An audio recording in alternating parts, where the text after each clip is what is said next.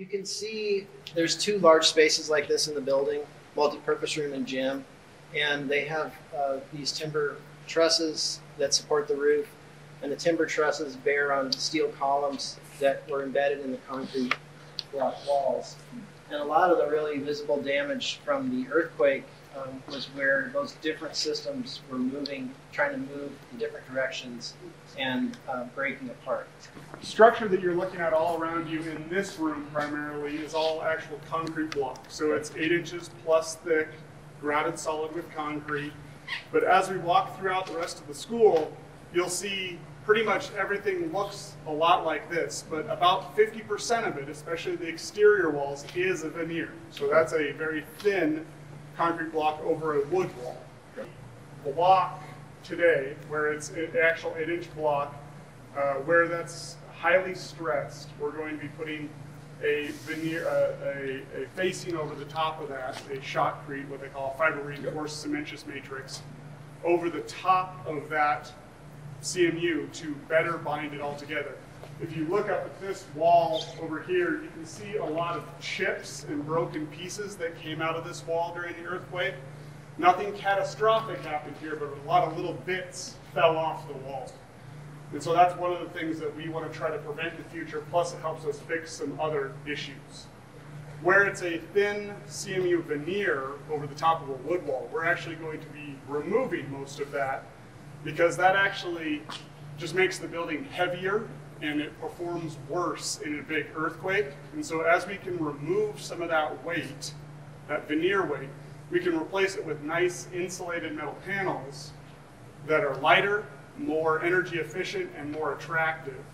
Um, so it kind of helps the building in three different ways. Yeah, and then the other kind of key point is that our, our design project has sort of three layers to it. Uh, the first layer is the repair of the things that were damaged in the earthquake. So we, we're tracking all that information as it's sort of separate scope items because there's a potential, good potential for the FEMA federal agency to reimburse the school district for that work. Um, we're also tracking something called mitigation items, which are things that we identify as a design team that they weren't necessarily damaged in the earthquake, but they have a potential to cause to be future problems in a future event. And by fixing them now, we mitigate that risk. So those are mitigation. That's a chunk of it. And then there's a pretty significant part of the project that's let's uh, take the opportunity to fix a lot of things that the school has needed fixed for quite some time. So there's we're, we're calling that the improvements. So there's this three-tier structure to what we're doing, and some of them overlap, and some of the repairs actually get um, fixed by replacement under the improvements. So.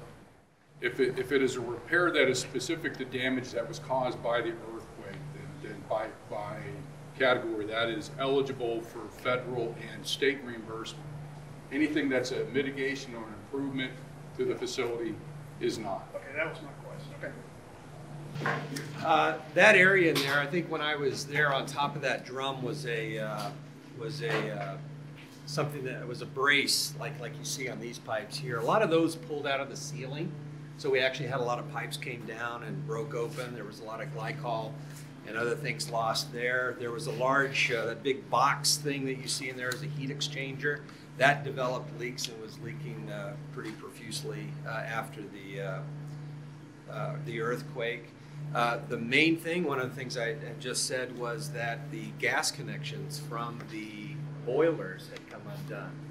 And that was something that uh, could have been pretty catastrophic, but we had, uh, in the last few years, had actually installed seismic shutoffs on our gas uh, regulators out here. So those shut off and we didn't have any issues. So that was a real positive thing. All right, so this, like Tom was saying, this is the life skills room where it was uh, constructed the summer before the earthquake hit.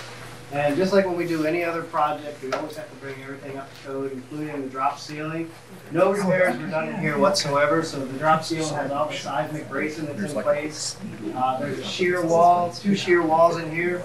They weren't lined up properly. We went ahead and corrected that. And what the shear wall does in the case of a seismic event, it displaces and you know, corrects that horizontal movement compared to a regular wall that just has a vertical road. said it was a major renovation. I said everybody was so happy to get this room. And I said I just want to point out like very minimal damage as far as sheetrock cracks.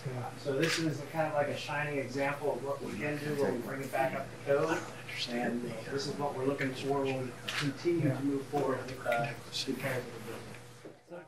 Um, most every building that you guys live in or work in or go visit is what's called life safety engineering. Okay, and that means that in the worst earthquake, we expect everyone to get out of that building alive. Okay, that is our goal in the worst design earthquake. Okay. Um, for assembly facilities or important facilities like schools, we enhance that a little bit to what we call damage control.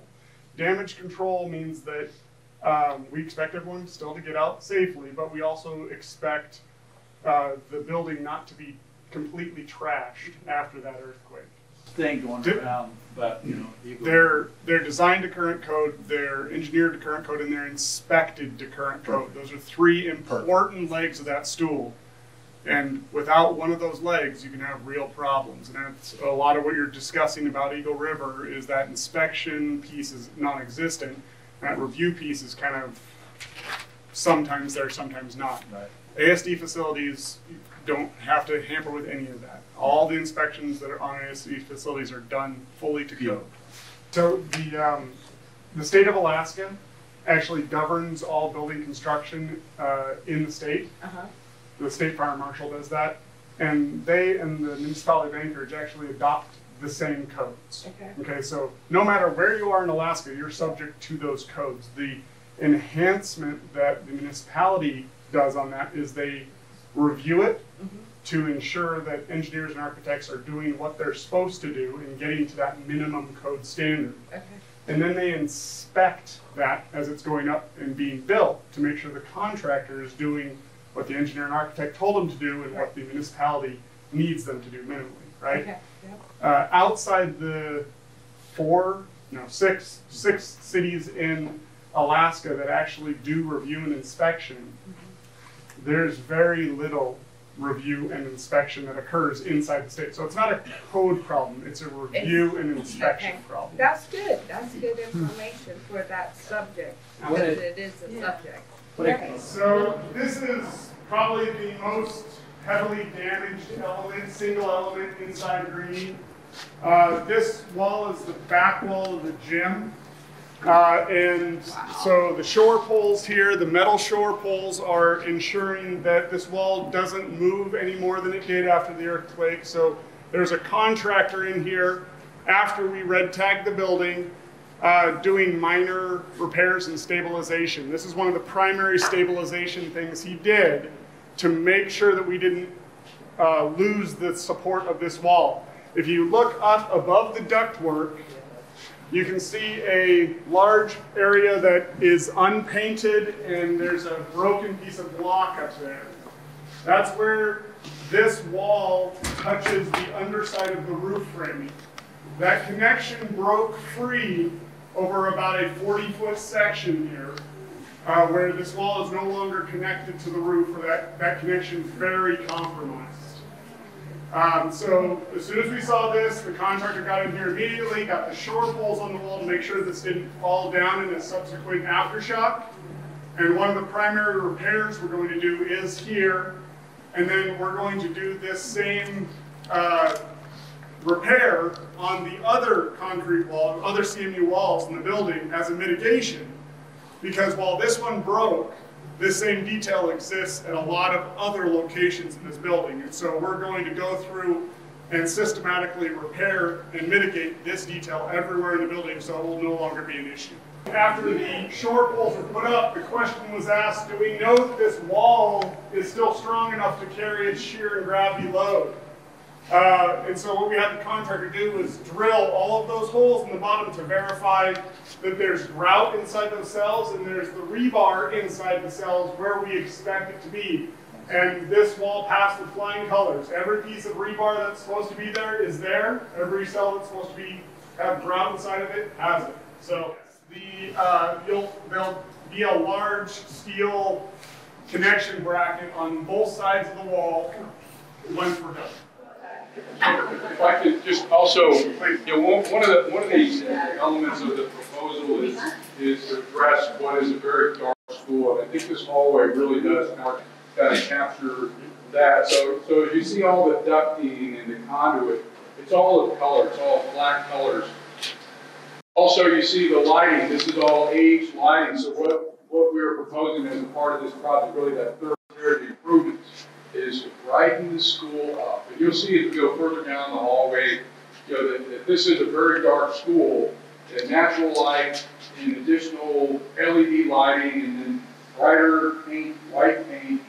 I mean, you kind of, you kind of envision what it will look like. It will be so much more appealing to kids and staff. So a couple, uh, a couple things of note in the gym area. Um, if you look over the railing, you can see some cones around the floor. Those are the exploratory holes that we had drilled by the geotechnical company to check the, the earth underneath the gym and make sure there wasn't uh, pockets. There was some, there was some surveying done right after the earthquake that indicated that the floor slope had changed, and um, but later it, it seemed level again, and so it kind of raised the alarms. You know, is there something happening underground we can't see?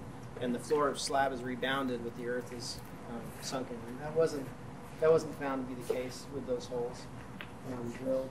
There there are some you know some drywall cracking in here, some things to repair, some panels that fell from the ceiling. Some of these acoustic panels broke loose. So part of the scope will be in the process of relighting, repainting. We'll be taking down all the acoustic panels, um, probably recovering them, and then reinstalling them with a better attachment system.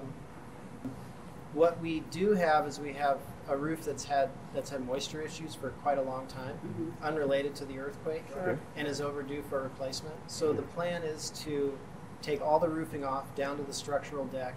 At that time, which is a plywood deck, at that time, uh, assess the condition of the plywood deck because it may be that it needs more nailing, or it may be that um, it just got rotten from so much water saturation in the roof Okay. and then replace the damaged structural deck and re-roof uh, with to a dis- ASD standard. Uh, roofing.